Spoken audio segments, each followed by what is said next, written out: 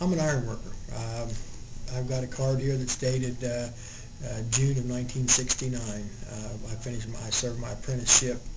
Um, I was raised in a union household. My mom was a union school teacher. My dad a union iron worker. Uh, I took 10 years off to preach, but I've been back in the trade for the la- nearly the last uh, two decades. I'm currently an organizer with my district council, working under George Kratzer. Um, you will hear people say that they're friends of labor. Um, I am labor.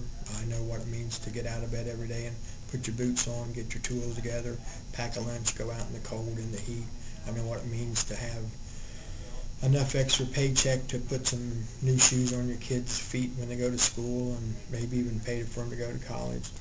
I would like to be a, a voice for working people, for the for labor, for unions because it's been unions working with the progressive, uh, uh, other progressives in the movement to, that has brought us to where we are.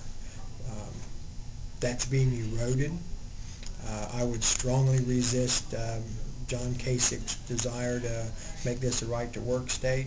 I would strongly resist uh, any efforts to marginalize the impact of labor and the, the influence that organized labor has had over the past.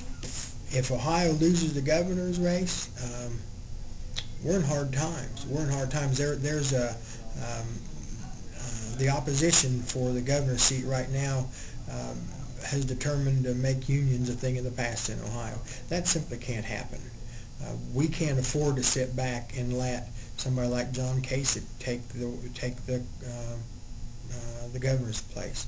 We simply can't afford that. We can't afford to lose four seats in the House of Representatives because uh, it's hard enough resisting legislation that would uh, cripple us as it is.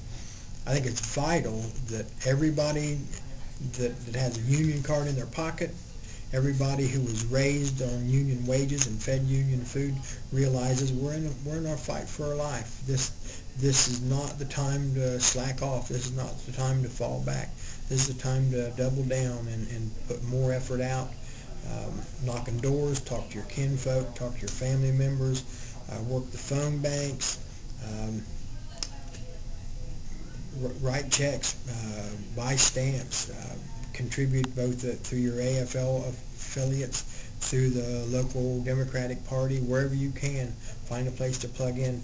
We are, as always, in a fight for our lives.